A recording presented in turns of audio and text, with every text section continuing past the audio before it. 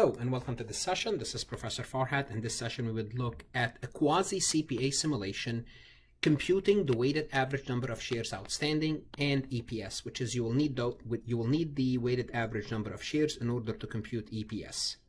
This topic is covered in intermediate accounting course as well as on the CPA exam.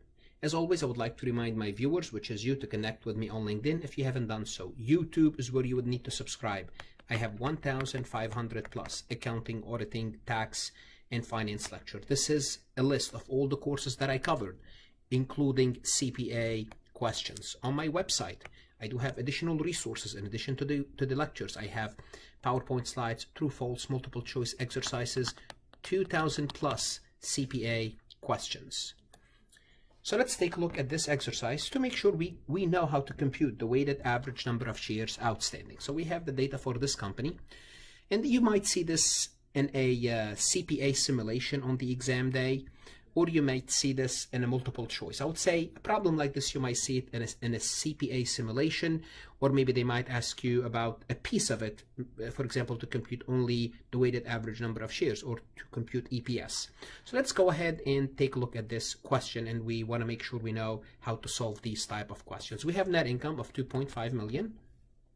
2.5 million preferred stock we have to be careful we have 50,000 shares outstanding $100 par value, 8% cumulative. This is important. What does that mean? It means each shareholder gets $8 per share, which is 100 times 8%. They have 50,000 shares. This means we have to pay the preferred shareholders, the preferred shareholders, we have to pay them $400,000 per year. Okay, okay, if, if we if we pay the shareholders, whether we pay them or not, for the EPS computation, we always going to deduct this 400,000 because, listen to me carefully, because they told us the preferred is cumulative.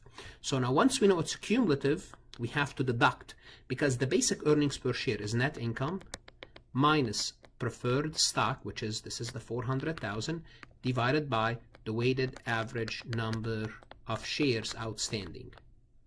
Shares outstanding so this is the computation for EPS. Now, we already have we already know net income, 2.5 million. Now we know the preferred stock dividend, the preferred dividend, preferred stock dividend, which is 400,000.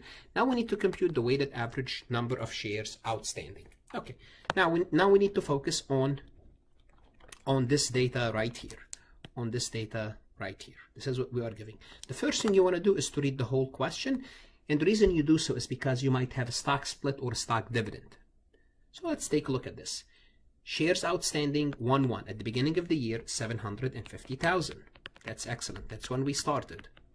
Then we had that many shares until May 1st. May 1st, we issued 300,000 shares. What does that mean if we issued 300,000 shares? It means we added 300,000 shares. Now we have 1 million and 50,000 shares. Okay, so we had 750 from 1, 1 to 5, 1. Okay, starting from 5, 1, 5, 1, which is May 1st, from 5, 1 till August 1st, sorry, till August 1st, we added 300,000 shares.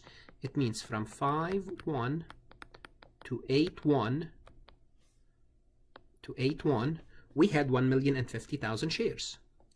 On 8-1, we acquired treasury stocks 150. It means we deduct 150,000 shares. And this is going to bring us down to 900,000 shares. And we had that money, that many, from 8-1 to, 2. nothing, nothing happened. Oh, I'm sorry. Yes, something happened on 10, on uh, 10-1, but nothing happened after 10-1 till to 12-31. Now on 10-1, we had the stock split. So simply put, the 2-for-1 stock split, because every time we have a stock split or a stock dividend, it's going to apply to everything.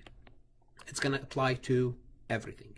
Now, what do we need to do? Now, we need to take this information that I just kind of gave you a picture of it. This is what we started with 750 till May 1st, and on by May 1st, we added 300,000. Then we went from May uh, from May 1st till August 1st. Then we subtract 150. This is what we are giving here. Then we had a stock, stock split at the end. So to, to show you the computation for this exercise, I'm going to move to the Excel sheet and I will have all the information on the Excel sheet. The same information here. I want to make sure you understand this, except I will make the stock split adjustment and show you the weighted average per share. Okay, let's go ahead and move to the Excel sheet. Okay, let's take a look at this Excel sheet. And what I have is a column for the event, column for days outstanding, columns for shares outstanding, column for fraction of the year, and either the percent, percent of the year, restatement, and the weighted shares. We started with, if you remember, the date we started from um, January 1st to May 1st. And if you remember, we had 750,000 shares when we started. And that means we had those 412 of the year. What does it mean 412? We had 750,000 January, February, March, and April. Four months. Okay, May 1st, it doesn't count because May, it's only the first day in May. Well, the percentage of the year, the percentage of the year is this amount, the fraction of the year is 33%. So we had that many shares, 33% of the year. So I just like to put the percentages. I'll show you why at the end. Now remember, let's assume there was no, let's assume there was no, uh, no stock split. We will take 750 divided by 0.333. But since we had a stock split, the stock split applies to everything. We have to include the stock split. Therefore, the weighted, the weighted, those weighted shares are the following: 750 times 33% times 2. Now, if we did not have the restatement, then it is 750 times 33%.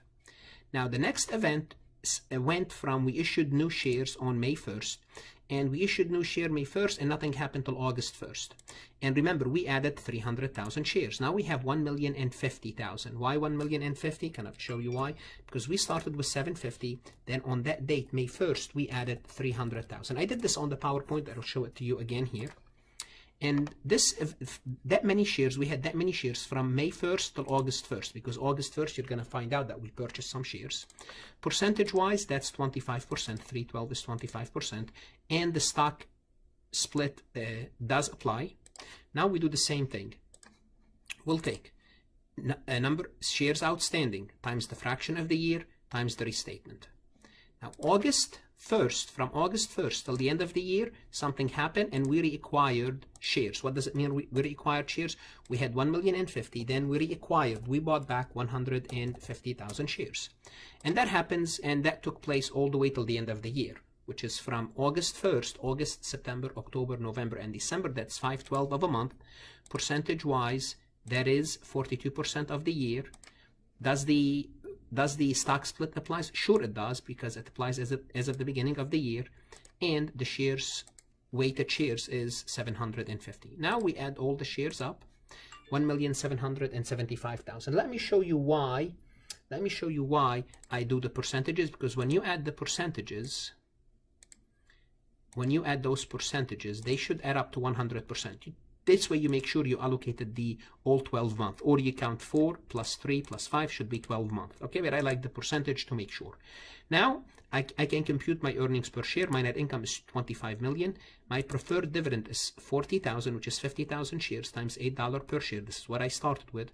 My income allocable to common stockholders which is net income minus so basically I'm going to call this net income to common stockholder to common stockholders. Why do I call it to common stockholders? Because I deducted the preferred dividend because some of it, you know, the company made 25 million, but 400 goes to the to the preferred. What's left is 24 million 600. So the earnings per share is I will take my 24,600 divided by 1,775, the weighted average number of shares outstanding, which is this number here, and I will get my EPS earnings per share. I hope you um, you were able to follow on this question. I may I may work in other questions where we have stock dividend and stock split.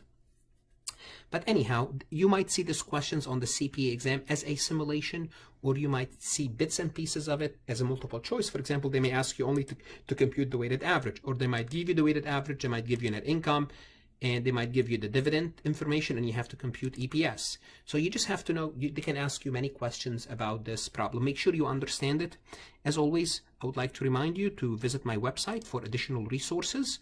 If you're studying for your CPA exam, I strongly suggest you subscribe as it's, as it's an investment in your career. Good luck and